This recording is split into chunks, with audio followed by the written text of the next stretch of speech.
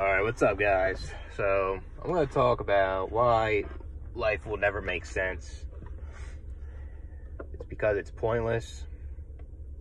And all you do is, like, go to school, then graduate, then you gotta go to work, or go to school to, like, prepare to go to work, and then you're just aging at that point, and then you're dead.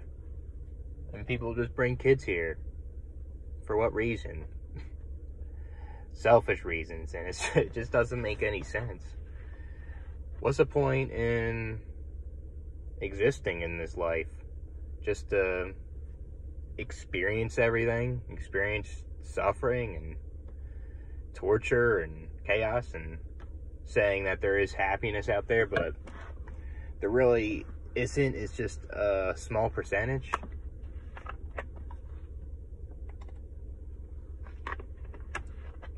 Like this this life will never make sense.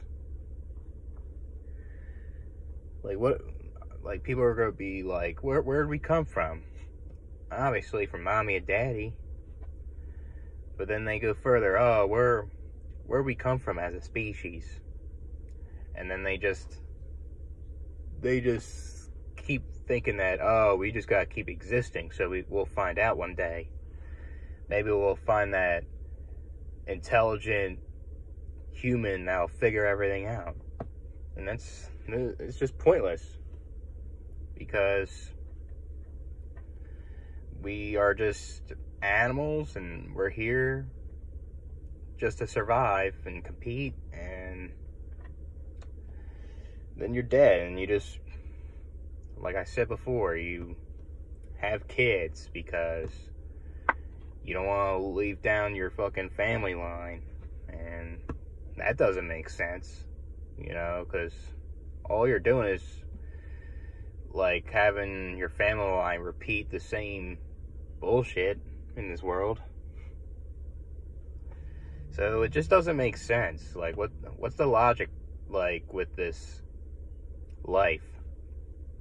Like people are going through shit every day and it just doesn't cross their minds that this life is suff is filled with suffering and it's just it just doesn't make sense to bring someone here when you just feel unpleasant most of the time. I mean, I don't get it, but people view life as uh, happiness, positivity, uh, all this toxic optimism that doesn't make sense. You know, I mean, I'm optimistic. It's, sometimes like sometimes, but I try to keep it realistic, and it just sucks that I see life as negative, and that's how it is, and I'm being realistic about it. It's not that I'm just being pessimistic, and that's I'm just I just feel sad all the time. I'm not emotional like that. It's just that's how I see it, and it just doesn't make sense that that's what people go through. So, catch you guys with another one.